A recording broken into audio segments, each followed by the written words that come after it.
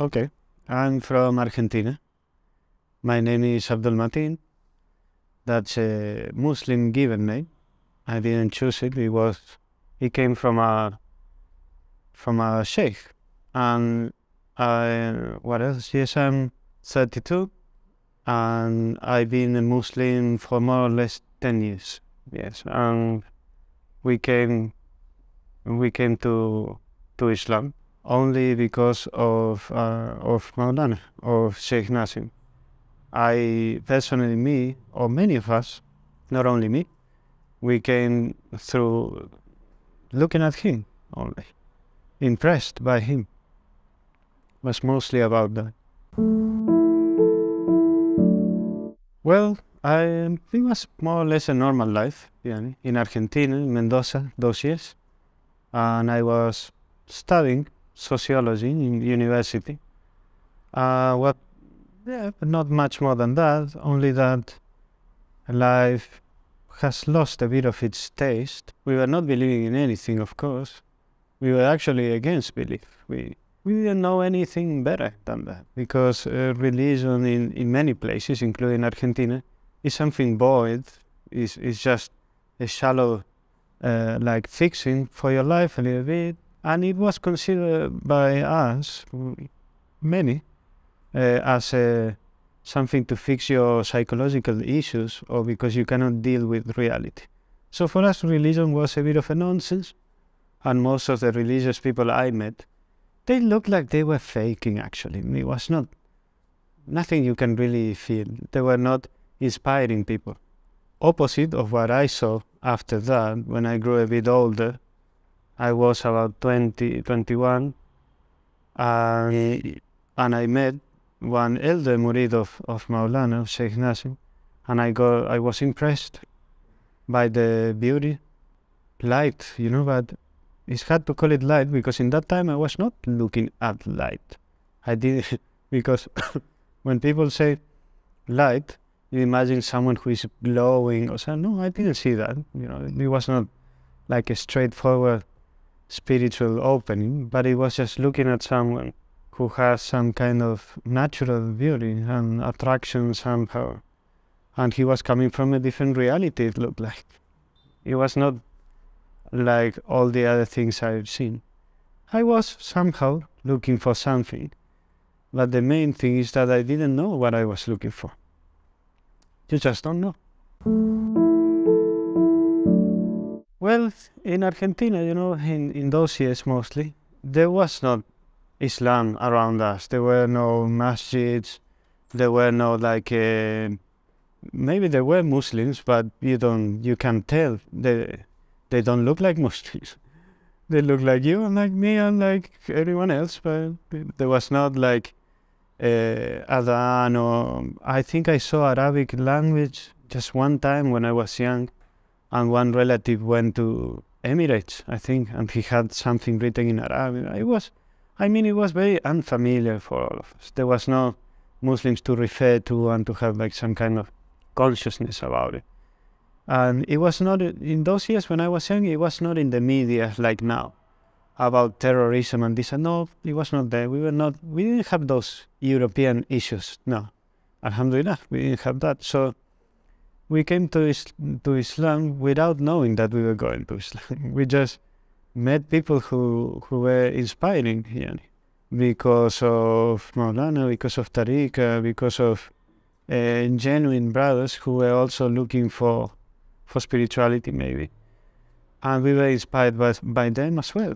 I saw generosity, I saw brotherhood, I saw familiarity as well, the, the, the idea of family as well. When I was young, there was still this thing about family lifestyle in Argentina. We were getting together with my grandparents, with uncles, these cousins, every weekend more or less. There was still this connected or connectivity yeah, between families. I don't know what to say. But then gradually all that thing got, uh, it, it went down. We stopped meeting with our family and this and that. Then you get busy with your job. People even died and some they left and most of us we, we left Argentina as well. So families got dissolved, And also uh, in this tariqa, I found ag- again like that uh, taste for family as well. Also, nowadays it's hard to tell because Islam nowadays is far from its roots, very far, regretfully. But in its origins, this thing about brotherhood, this thing about calling everyone a brother or a sister or this and that, brings you back to your nature. That's what I'm trying to say, I think. But of course, we didn't know any of these things in the beginning. It's just a feeling you get. It's just natural attraction. Yeah, I was looking for something. I met a few people from other tariqas. I learned a bit of yoga. I was reading books or meditation, this and that. Nothing big, but we were learning a bit. But when I saw this elder brother, Yanni, it was wow, that was a big difference to to see things with your own eyes. Then I really said, okay, this this is real. This is this is not a movie. This is not a picture. And then I started. Yeah, that was the main thing. It was not about researching on the internet. It was not about going to a masjid. It was not a process of uh, this kind of like social study about what is really no no. It was not an intellectual process. My process. It was just a, just a very natural journey. Well, as I was saying, it was mostly about meeting the people. It was uh, to meet first this el- elder brother, Yanni, but it was a bit miraculous as well. I always forget to tell these uh, miracles, and that's the main thing about my story. Not this, that it doesn't sound very interesting, but because when I met him, it was a meeting. Were, he gave a speech, and then I came to him. And usually I do translation because no, not always there's people who, who knows English and Spanish quite well in order to make a translation. So that's something that I do every now and then, not as a job. And he was looking at me, waiting for the translation from someone else. It was something very simple, nothing difficult. And I was looking at him. We we were looking at our, each other's eyes, and he was waiting for the answer, which was maybe one sentence, something. And I tried, I was trying to, to say the answer, but I couldn't. Uh, I mean, my tongue didn't move. We kept like staring at each other for a few seconds or something like that. Uh, and then someone else gave the answer. It never happened that before or after in my life, never. So there was a moment there that we stayed there, like the movie went into pause and, and something happened there, yeah. Then I started to go to the meeting Shani Thursday night at Zikr and I met other brothers and then things went like that. But you know, after that, maybe one year after that, another brother told us that that he, this this elder murid that I met, he he shared a, a, a dream he had in which he, he saw Prophet Muhammad وسلم, on a dream. And in that dream, he, وسلم, Prophet, was telling him, look at people in the eyes. So uh, then I think that there was something that happened there. That they were they were giving something to me, which I was completely unconscious about it. And then I had like a bit of comings and goings, but then I, I stayed. I stayed in Islam or in Tariqa maybe only because of that moment and only because I saw that uh, reality, even though then you see real people with mistakes, with with shortcomings, with problems, but because of that uh, that uh, moment of beauty as well and reality, and things I cannot explain, which is like this kind of miracles, then I stayed and I stayed and I stayed, just maybe trying to find out. Maybe I'm still trying to find out what happened. Even, and there was something interesting as well. After that, well, you know, usually sometimes I forget about the dreams I have, or I just don't can't see much. And it happens that someone else comes and tell me a dream which has nothing to do with them because the dream is for me. but it's like Allah knows that I will forget, so He brings someone to tell me about that dream. It happened three times. At the beginning, I didn't know. So my sister came one day and she told me, you know, I saw you, about me, speaking about me, I saw you on a dream and you were pregnant. And I said, well, thank you, but I don't know what that means. I'm not expecting a child yet. But after a while, I met him. I met Diesel de Murillo again in Argentina, in Buenos Aires. That was maybe one year or two years after that. And I told him about this dream. And he told me, no, that is because you are spiritually pregnant. There was something that it came to me, and maybe it's waiting to come out to the surface till today. Because the rest is just a normal story. I just started to go to Dhikr, I met people, and, and I learned a bit about Islam, even though I didn't learn much. I, I was not learning Arabic, I was not learning Quran, I was just imitating a little bit. Uh, even the thing is strange because then people ask me, Are you Muslim? And I say, Well, I don't know, but, but I was. Yani, but up to some extent, it was so natural for us that I didn't even know that because we came like to Sufism yani or something like that. We were not like like uh, like trained as a Muslim or say you need to do these five pillars. This is fard, this is halal. This is no, no. That came way after that. Way after that. Yeah, and also because in the place I come from there was no masjid. People were asking me what happened when you first time heard adhan the prayer to the prayer call. And I say I didn't because where I come from there is no adhan. We were making adhan. so everything was very natural and the Jamaats, the groups where I come from, we were all reverts. It's not that you are a revert and the rest they are all born Muslim. We were all reverts, all. The one, the Imam, me, you, everyone, we were all reverts. Which is also something very strange. Then I, I found out about that when I went to Europe or other countries, then I found out that there were also normal Muslims who don't believe in many things and they don't pray much or they don't even pray at all. And, and I say, oh, how can that be? We thought that Islam was only about spirituality. Yeah, you are so right. Yeah, way later on, which is good because we were just beginning and we were interested in these other things, which is mostly something which is about, you can call it love, in the reality of what that means. Love is not necessarily something just emotional related to having fun.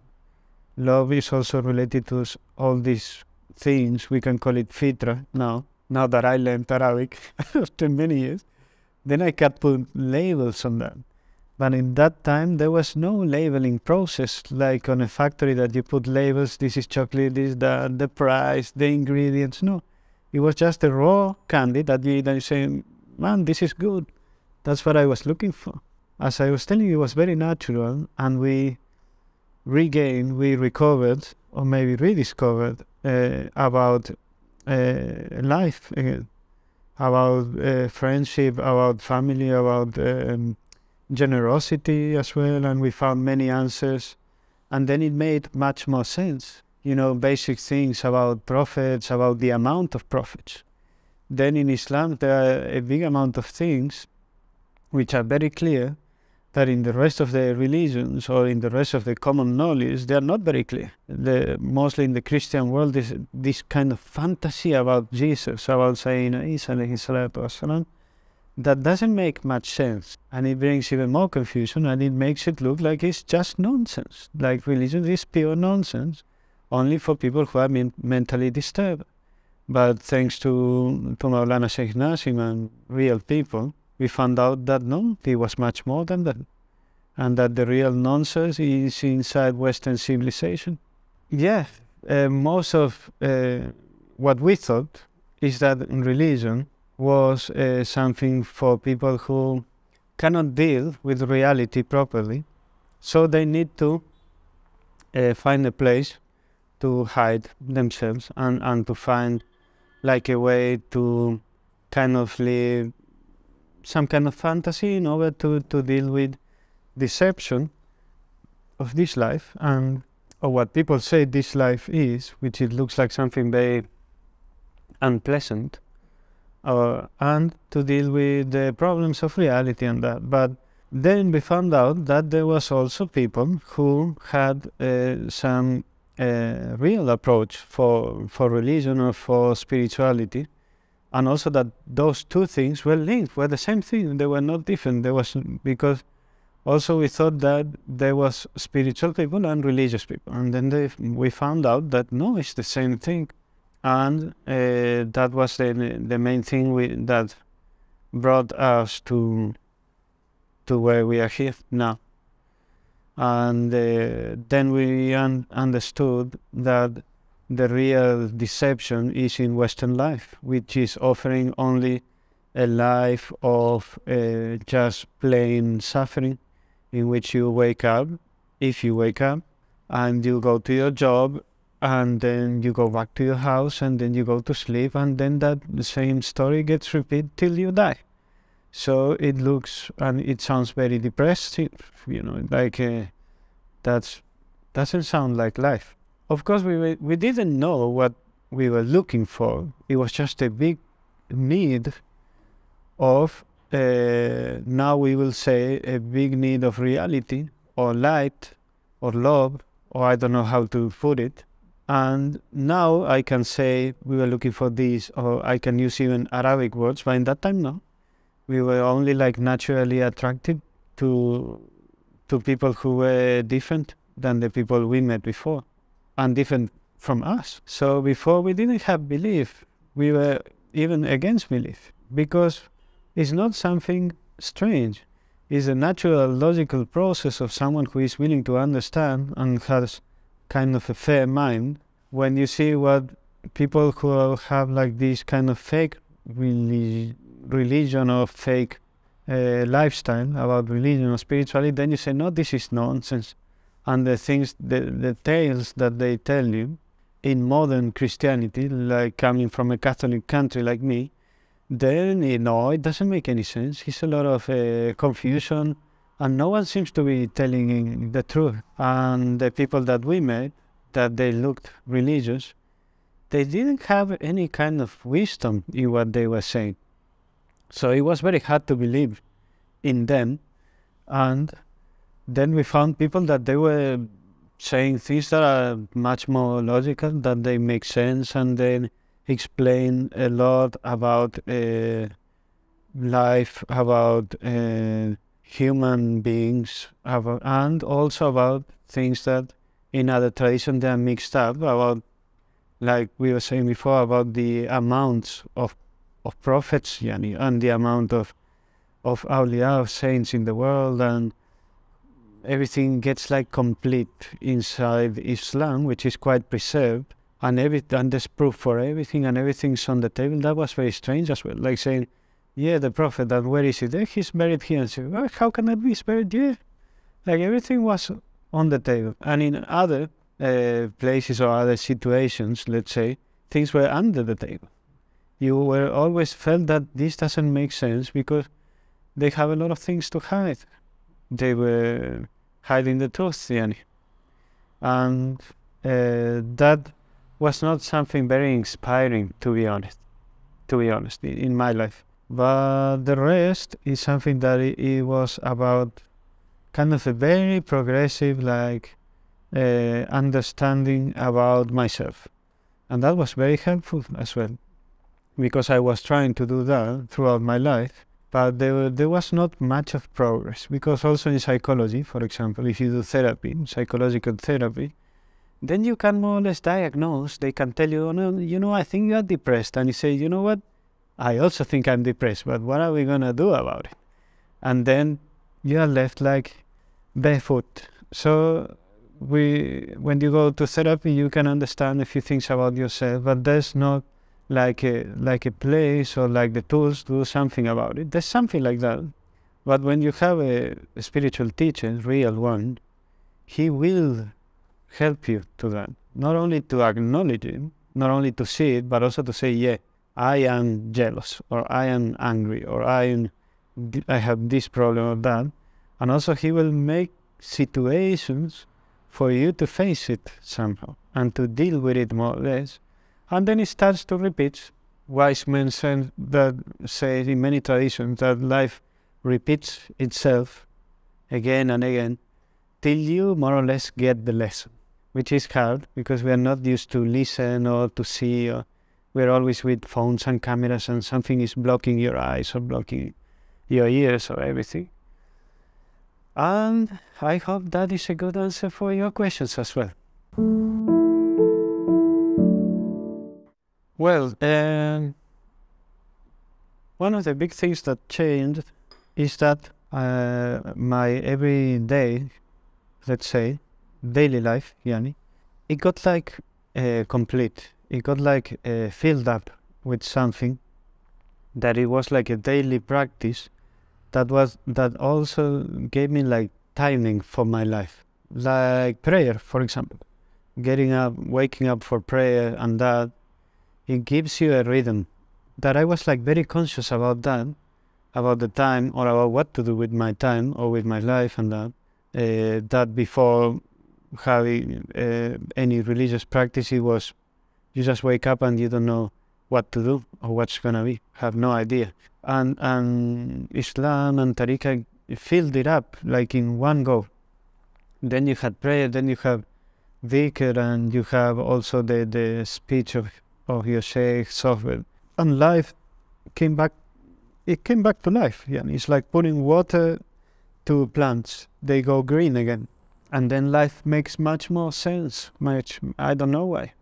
You know, there was something big part of what I'm saying is just the surface of something that I got to realize many years after. It's like everything, like in, in old times, people they were teaching this way. They were telling you, don't ask many questions, just come with me, and then you will learn in the process. Which for modern people like us, like me, is almost impossible because you need a lot of proof of explanation. Tell me this, tell me that. Tell me. But for me, alhamdulillah, it was not as much as that. I was just following Yani and enjoying the ride a little bit. And there was these small things, these small details that meant a lot for me. Like, for example, we were going to Dhikr, to Thursday night meditation, or I don't know how to say that in English. And we were just meeting there, and the one who was leading the, the meeting, Yani, he was talking a bit. He was very inspired as well. He was telling a few stories, and we were having tea, and the tea tasted so good, you know. The tea was so nice. And then I found out that he was putting rose water in the tea, that's why.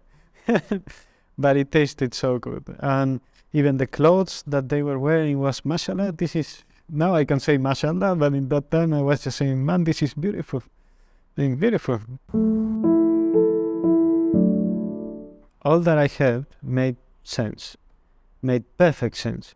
All what I heard before Tariqa didn't make sense. And it was something that it could be questioned it could be doubtful. He was saying, did, did people really went to the moon on a rocket and landed? And then the guy stood out and then they came back to Earth. Yeah, well, you you believe it, Yani. You're, how can you prove it? You cannot go to the moon. But you never you never have like certainty about it.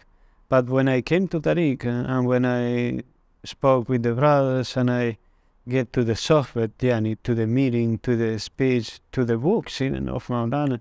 Everything made sense, 100%.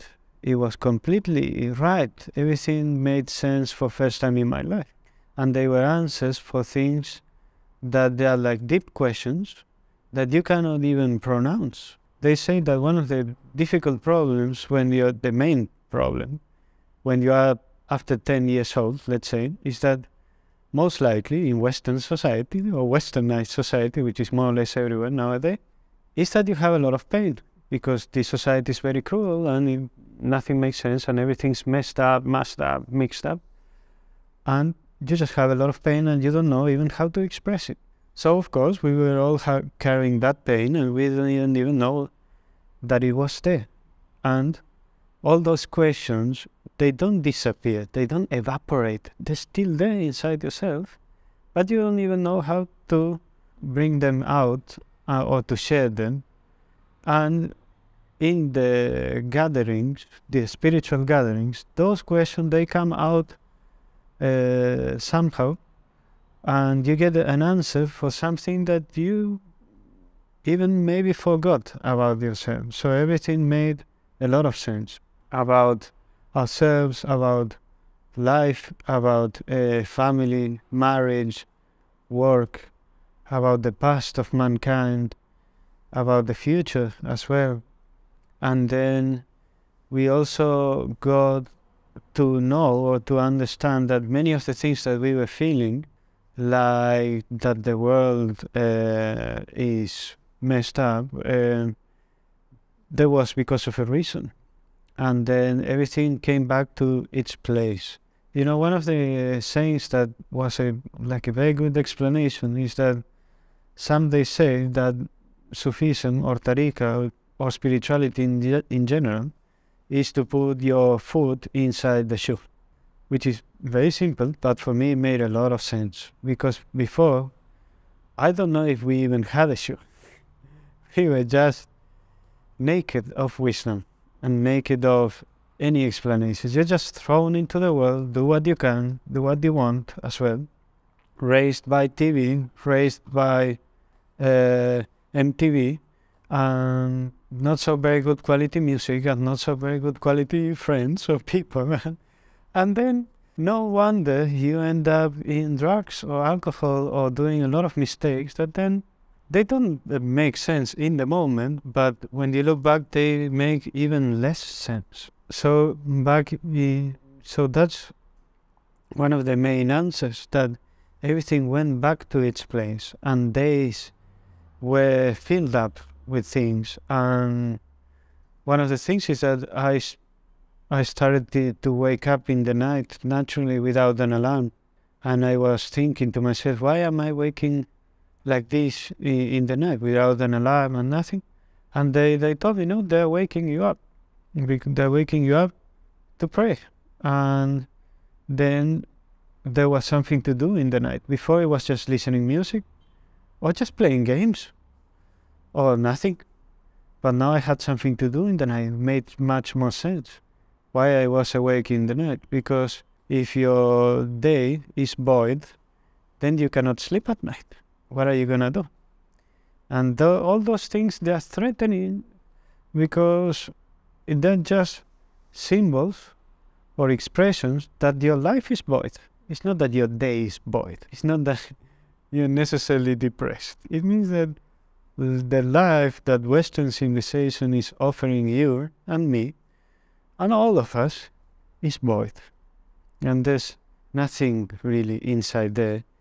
Instead of some kind of modern slavery in which you work for someone else that you will never meet, most likely, and is giving you in exchange a few, not even dollars, because we don't have them, and then uh, you spend it in Coca Cola and that's it. Don't ask for more because there's nothing there. And then, yeah, ask me.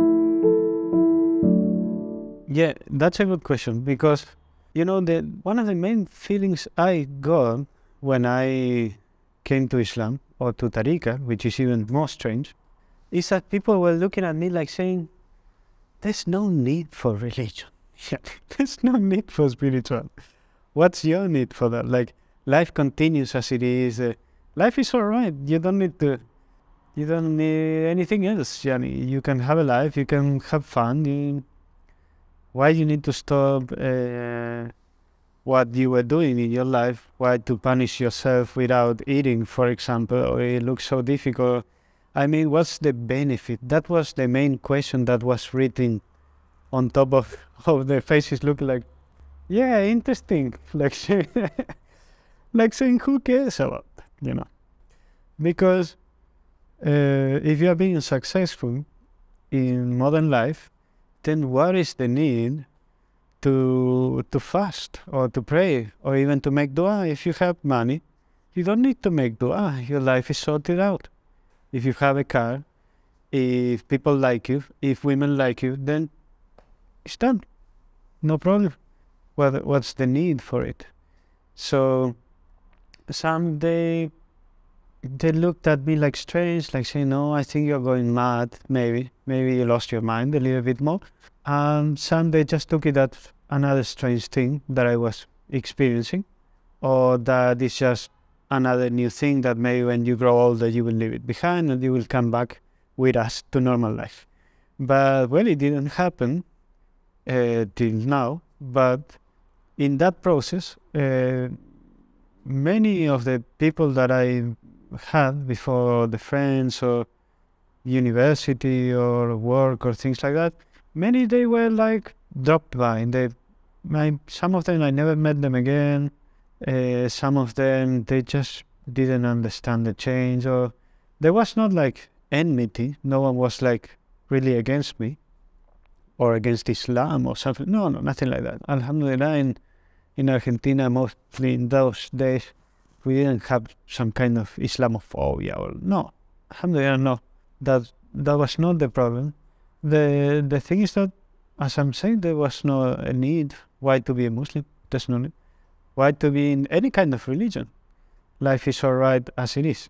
Yeah, my family didn't have a major issue about it. They were saying like, yeah, we don't understand mostly, uh, but that's it. Do do what you can with life, and if it makes you feel better, well, what can we do about it? But uh, then I understood that it was something that I needed to do on my own.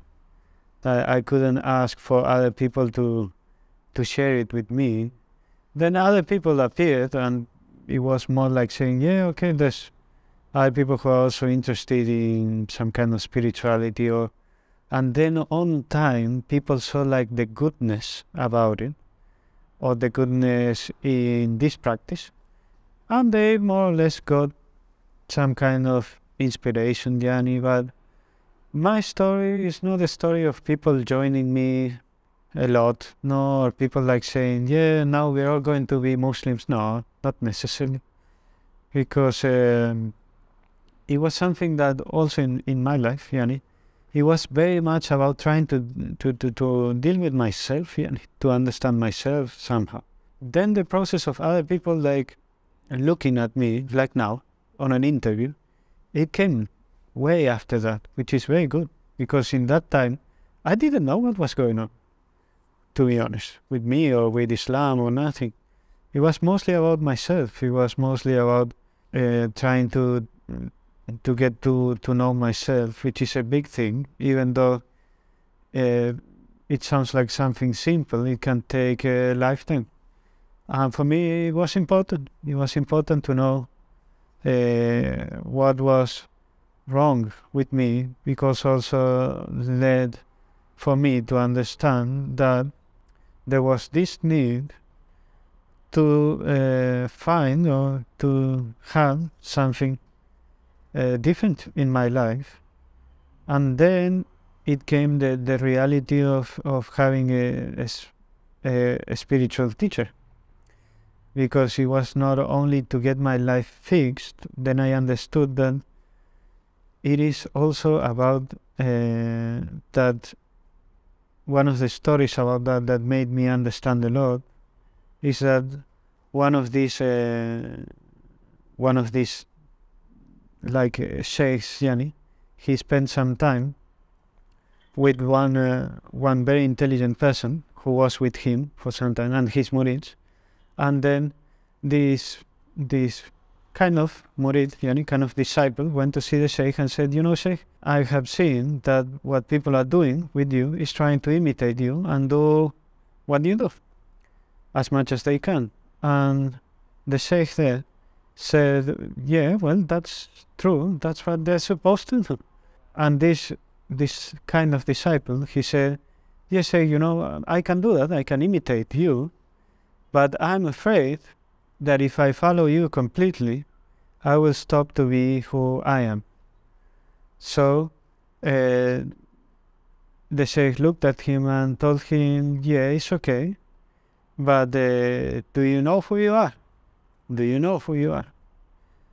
So that was something, when I heard that story, it made me understand much more about this thing that I just went for.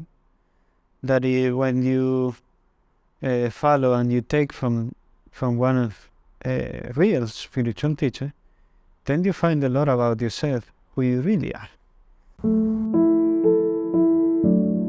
I never saw, I never saw in my whole life more beauty or better people that in uh, the surroundings, in the vicinity of the beloved people of Allah, of the saints, of the awliya. I never saw some, anything better than that. I never saw anyone more loving or more uh, uh, happy or more beautiful or more well mannered than than the sheikhs of Islam, let's say, and our elder brothers as well. I saw them and I maybe I felt like being like them, you know. That's a strange thing because in the education I had was opposite to that. Don't follow anyone, do what you want, and just be be be the yeah. People should look at you. You shouldn't be looking at anyone. you should be very successful. And then I was looking at someone and I felt human, like uh, unconsciously, maybe I said, I want to be like them. And that means a lot because, uh, as I told you, we were not educated to do that, to Im- imitate anyone. It was always like this individual education for you to stand out, to be, to, to be or to feel better than other people. And then I felt uh, or I saw people uh, who were inspiring to me. I never saw better exemplary manners. They were the best example I ever saw.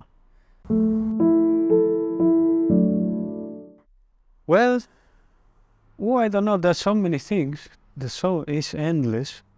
This is an ocean of things, and there's plenty of pearls and jewels and and that. But I think the the kindness is something that inspired me a lot. I never saw uh, more more kind stories than uh, the stories about the about Rasulullah himself, or his Sahaba, or the awliya, or the mercy.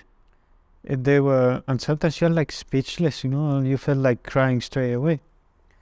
Now, um, um, sometimes it's even hard for me to remember the story because it's just a feeling. You know, there was one story of a lady who saw Rasulullah and she was saying, I saw such a man that his face was glowing with uh, light. That was shocking to me, you know, like saying, What is that light? Like, I want to see that light. What is what's that you know? And when they were speaking about his manners. And also one this one hadith that he Rasulullah is saying in the end of no in Yawm al Qiyamah in Judgment Day the people who are going to be closer to me are the people with the best manners then I understood that also, Maulana was saying more than once that the highest knowledge is adab, is manners. And for me it was shocking because Western education is opposite to manners. It's like the highest knowledge for university for universities. It's just knowledge. There's nothing else.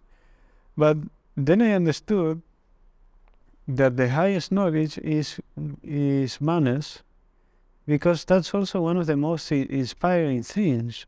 And the world is kept by manners about, not about being polite on a superficial level. It was about being good to people. Because if there are no manners, if there's no kindness, no goodness, then this world, it doesn't worth living in it. It's just trying to steal few things from someone else trying to be on top of everyone else, and you're just left alone. Who is going to help you in the night if you fall on the street? No one can even see you in the night. Who is going to uh, to help you if you treat everyone else like uh, they should be serving you? That's different. And when like this goodness, then everyone's heart starts to open because the, the whole environment gets relaxed. And people say, okay, I'm not going to get killed. I'm not going to be robbed. I'm not going to be deceived. Uh, then there's trust again in life. It's hard to relate to a specific event because next to the Awliya we have seen so many miracles that it's even hard to, to, to remember all of them. But what I can say is that uh, one of one of those events is that um, I went one time to to Cyprus to the house of Maulana Sheikh Nazim, and then I went uh, Germany for some time, and they ca- I came back, and I went to sleep, and then when I woke up, I had the feeling and I woke up and walked like I was in my parents' house. And then I realized, oh no, no, I'm in Cyprus. He was so familiar to me. It was he brought me back to my fitra, we'll say now, to my own nature so much that I felt more at home than even in my parents' house because it brought my heart back to its place. And uh, there were there was like um, growing back to what it brought me here to the first place. In a, without all these big explanations it was just coming back to life. It's like life was cut in a moment of of my life. When you get all this uh, education in civilization let's say and your life uh, gets cut and you don't know who you are anymore. After doing this and getting like adapted to to this kind of game that we're playing then you forget who you are why you came here in the first place.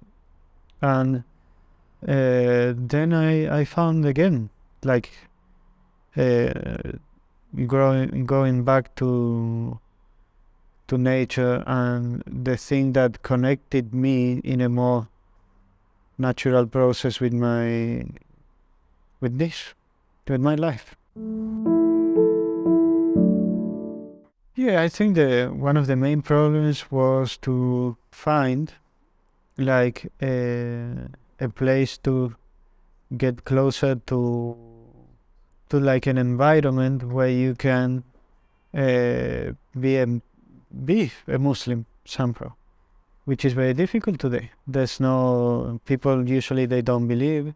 People usually they want you to be different in order to be suitable for works or for money or and uh, there's not like a place for you to stop for a little while in your life you as soon as you get some age maybe let's say 18 or even less you just need to go and work, and that's it.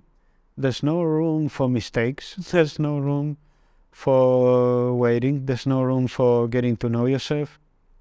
There's no room to do something besides of getting some money, getting some income, unless you are rich, which I wasn't. So there was not a place for me to stop and to say, okay, uh, I need to stop. Yeah, that was one of the biggest the problems that I faced, or that many people faced, I think, that there was no room for you to get to uh, to know yourself or to practice a little bit, or even to to to have like a small room for you to to express yourself somehow without the rush and the need on and the stress of working of getting money, which was difficult as well, and for you to to share with other people in an, uh, an environment which people more or less believe, or they're trying to believe, or they're trying to to help each other somehow. There was not much room for them. Mostly when you reach that age, then you are supposed to be thinking about getting a job or getting a degree or getting a career and that's it. Come on, let's go to life. You need, you just need to be a decent piece on the engine of a factory. And I didn't want that. I think inside myself I was refusing that. I was saying, no, no, man, and I don't want to get there. And society forces you into that. It forces you into be a decent uh, piece of a machine for the machine to carry on, for the show to go on. And sometimes you want the show the show to stop. You want to say, okay, okay, I don't know who I am. Can we stop? And the world will say, I'm sorry, gentlemen, but we cannot stop. Because no one cares about you in the first place. You just are supposed to do what you're told, what you're told. So for me, it was difficult because I really need, needed to stop and to to get to know myself somehow. And the only environment and the only real tools for that was in the environment of Tariqa and mostly uh, with Maulana, with Maulana Sheikh himself. Because he is going and he was going to give like the place and the tools and his guidance for you to be able to to get to know that to get to know uh, yourself, mostly because uh, they say that a broken heart, it's an open heart. And some of us, we were heart broken, but in order to be functional in life, Yani, then you don't heal your heart. You don't solve your problems. You just put something on top of it. you just cover the wound, and that's it. Then you just carry on. But uh, that that need is never fulfilled completely. It's never fulfilled till you feel that, like Rumi was saying, and that it took me a while to understand as well. Every pain beside his pain of of the longing for the love of Allah, let's say, uh, let's say that every love beside his love of Allah is pain. Because it will let you down. Because human beings, they do this and then they do this other thing and this and that. So you never get that thing that your heart is looking for. Then you can only get that with the people who have that. That will bring you closer to that love. And that love will never end. And even if you die, then it will be alright. Then we have this big fear of death, but we are not afraid of dying. I was not afraid of dying. No one, is, no one is really afraid of dying. We are really afraid of dying as nothing happened in your life. Like you spend a life for nothing, or you never reach that real love or that true love. So, this which is Tariq and which is the beloved people of Allah, that's why they're beloved, is real love. And even if you die, then maybe it's even better because you will go to that love to meet again in that first meeting. And that's it. There's an, interest, an important story in this because I always forget about talking about miracles. I don't know why. And that's the main thing about this. One time I was going from Spain to London to see Maulana Sheikh, Sheikh Muhammad, and I had a small dream in which we were praying with him, and everyone stood up and go out, and he stood up and left, and he left behind a waistcoat, beautiful like golden, not golden but like like yellow, and beautiful waistcoat that he had. He left it on the ground. He forgot it, and I took it and I gave it to him, and he looked at me. In dreams, he's very different than how it is in in like this uh, reality. He looked at me and he told me, But you don't have a waistcoat, no? And I said, Yes, Sheikh, but this is yours. And he took it and he looked at me and he was very happy about it. That was the end of the dream. And then I understood that it's not the same thing to go to your Sheikh to try to take something from him than to be with him. That's real love. Not when you want to take a benefit from someone, but just that you feel good or you or you love to be with them. Because then that thing revives that love that is inside yourself as well, that it was forgotten. There's plenty of advice. There's a lot of advice. Ad-dinu nasiha, no? So there's plenty of that. But what I can say from my own experience, which is interesting, rather than reading a book or relating hadith, is don't be afraid. Don't be afraid, you know. And mostly don't be afraid of leaving things behind. Because what you will find after leaving things behind is far, is way better than those things. Whether if it is money, whether if it is uh, success of any kind, social or fame or uh, friends or girlfriends or boyfriends or a house or a car or a dog, leave all those things because leave it. Don't worry. Don't be afraid of leaving all those things.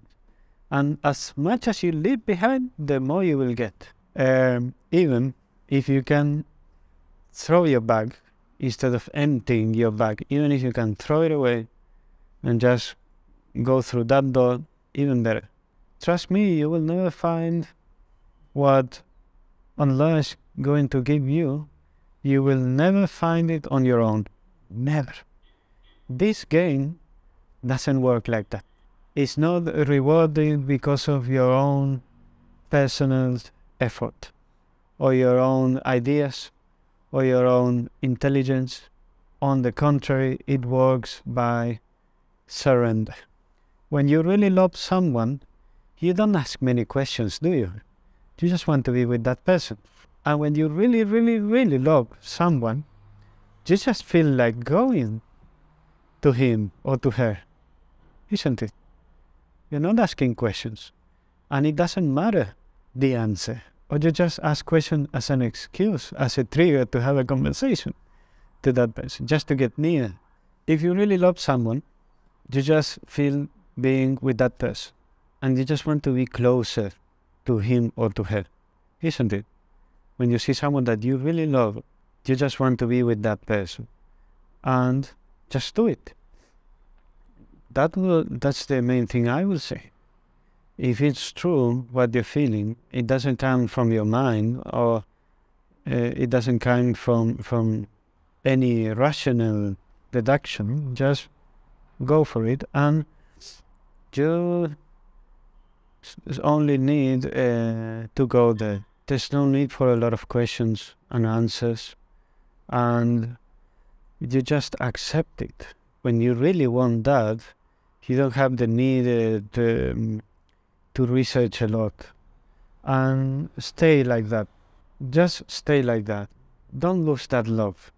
Because then when you grow a bit older, then things they get it's like the machine slows down a little and you start to use your mind again and you start to get a lot of explanation and everything seems to be sorted out and don't let that thing happen in your life. Always try to renew that original moment in when you just felt pure love or pure inspiration. And if you lost it, try to go back again to that thing. And that's the only thing we are looking in life. One of the wise people that I remember was saying that when your life is complete, when your life is complete, is when your love is complete. When you think you really are okay and that you can die and nothing matters really. Only you can say, you can really say that when you are fully in love, when your heart is full, and that there's no fear. Maulana was saying so many times that when you are afraid, it's because your heart is a bit empty and you're actually afraid of dying in that state. You're not afraid of dying. You are afraid to die as you never lived. That's the summary.